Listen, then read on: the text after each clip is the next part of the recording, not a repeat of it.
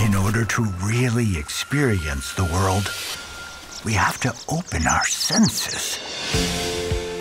Guess what? Somebody's moving into the house across the street. I'm Molly. This is my twin brother, Leo. Twins? Wow! Looking for that simple anything. Have a look at what I've discovered. Soaring to the sunny wind, beautiful indeed. I love it.